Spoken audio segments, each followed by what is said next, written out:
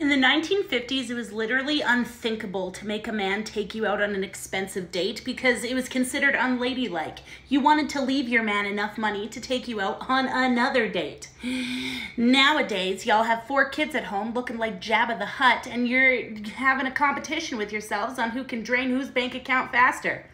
You don't even drain the balls after either. I mean, how times have changed.